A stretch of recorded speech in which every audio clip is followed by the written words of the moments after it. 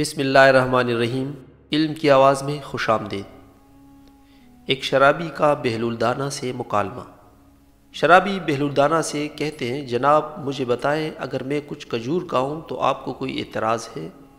बहलुलदाना ने फरमाया, बिल्कुल कोई एतराज़ नहीं। शराबी कहने लगा, अगर इसके साथ कुछ जड़ी बूटियाँ खा लूँ?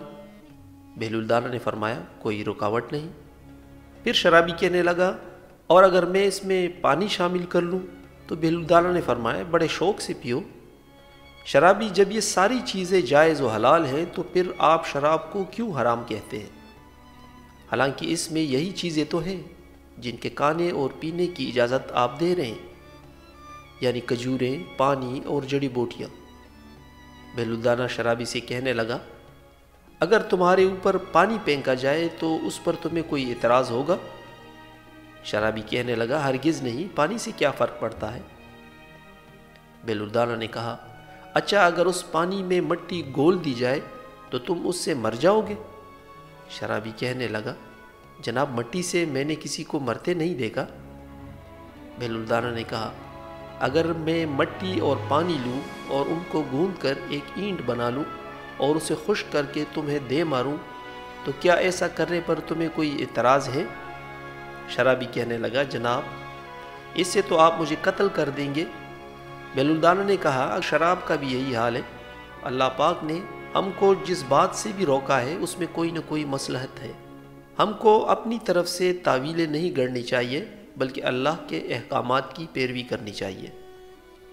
बहलूल मजजूब रहमत हारून रशीद के ज़माने में एक मजजूब सिफत बुज़ुर्ग थे।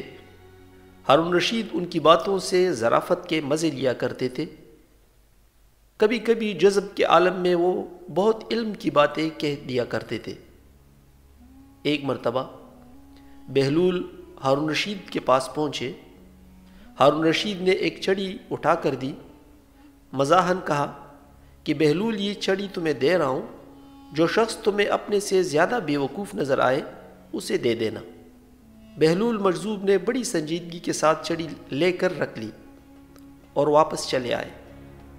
बात आई गई, हो गई, काफ़ी अरसा गुजर गया। शायद हारून रशीद भी भूल गए होंगे। एक अरसे के बाद हारून रशीद को सख्त बीमारी लाक हो गई। बचने की भी कोई उम्मीद न थी। अतबा ने जवाब दे दिया था। बहलूल मजजूब अयादत के लिए पहुँचे और सलाम के बाद पूछा अमीरुलमोमिन क्या हाल है? अमीरमिन ने कहा, हाल पूछते हो बहलूल, बड़ा लंबा सफ़र दरपेश है। कहाँ का सफ़र? जवाब दिया बहलूल ने। और नशीद ने कहा, आखिरत का सफ़र। बहलूल ने सादगी से पूछा, वापसी कब होगी? जवाब दिया, बहलूल, तुम भी अजीब आदमी हो, भला आखिरत के सफ़र से भी कोई वापस हुआ है? बहलूल ने ताजुब से कहा अच्छा आप वापस नहीं आएँगे। तो आपने कितने हिफाजती दस्ते आगे रवाना किए और साथ साथ कौन जाएगा? जवाब दिया, आखिरत के सफ़र में कोई साथ नहीं जाया करता। खाली हाथ जा रहा हूँ। बहलूल मजजूब बोला अच्छा तो जहाँ जा रहे हैं, वहाँ रहने के लिए कुछ तैयारी की है या नहीं? हारून रशीद ने जवाब दिया, कुछ भी तो पास नहीं, खाली दामन हूँ।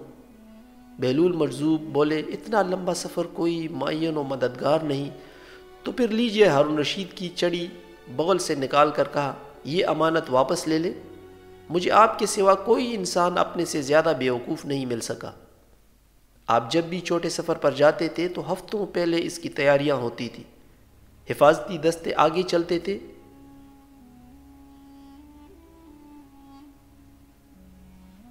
एक लश्कर आपके हमरकाब होता था। इतने लंबे सफ़र में, जिसमें वापसी भी नामुमकिन है आपने तैयारी ही नहीं की। हारून रशीद ने यह सुना तो रो पड़े और कहा, बहलूल, हम तुझे दीवाना समझते थे, मगर आज पता चला कि तुम्हारे जैसा कोई अक्लमंद नहीं। हम अपने बारे में सोचे कि हम कितने अक्लमंद हैं या कितने बेवकूफ़। दोस्तों, इस तरह की सबक आमोज कहानियों के लिए हमारे चैनल को सब्सक्राइब कीजिएगा और साथ घंटी का आइकन भी दबाइएगा ताकि मेरी तमाम वीडियोस की नोटिफिकेशन आपको बर वक्त मिलती रहे।